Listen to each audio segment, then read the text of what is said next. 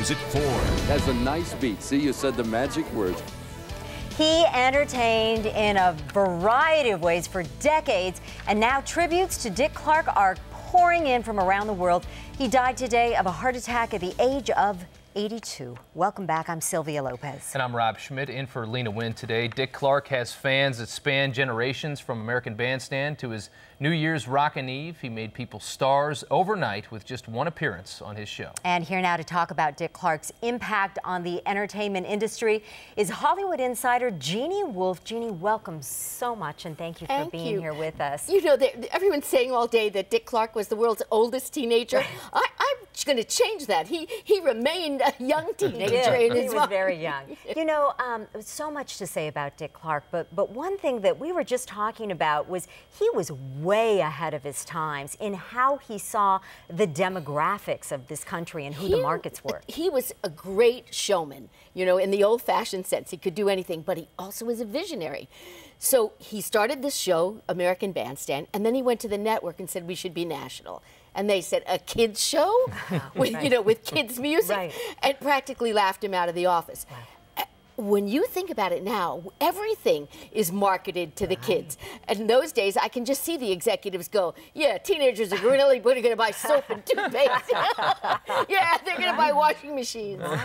but he, the other thing was, uh, I don't know about you. I remember on Saturdays I would stand in front of the set and try to copy those moves so I could Absolutely. be. I, I, I really learned how to dance. Right. Sure. You know, from watching that sure. show, and you know, tried to look like. Right. how to dress too. But you oh. exactly. But as the fashions changed, and the kids are always fashion forward, even then. You know, they're they're. Dick Clark never picked up on the fads. He appreciated, you know, all the music and all the costumes, but he's he stayed steady. Mm. And there were people who just said, you know, he's got to have a picture in the attic. no one's skin stays, stays so smooth. No one, no one, you know, that. keeps yeah. that, that smile. He really was he was really special. You you could just meet him for a minute. Sure. I mean, I I've met him many many many times, but you could meet him for a minute and you'd think, gee.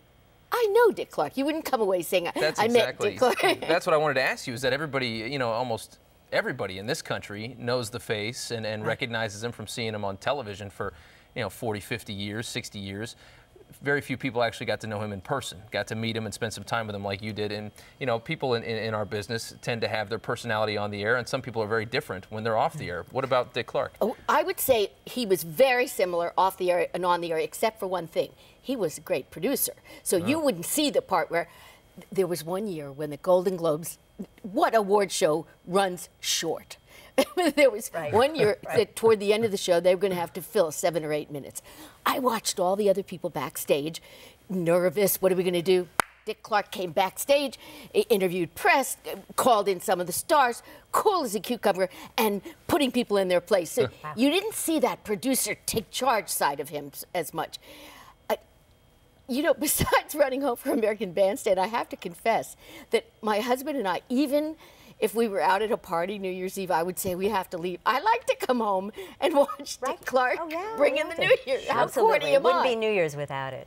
You know, I was really surprised to hear that he didn't actually create Bandstand. He, he joined a few years later, and yet, um, and perhaps this is his greatest legacy, it seems like no one else would have been able to sell it like he sold it because of his image and sold the music and sold the artists and sold the diversity and of that the music. diversity at that you know we forget at those times to, to, to mix you know black artists artists of color with white artists right. he took a lot of chances as much as they would let him right. you know what they, they they would let it they were very very careful right. but you know, Stevie Wonder. Absolutely. You know, said he was on the show when he was 13.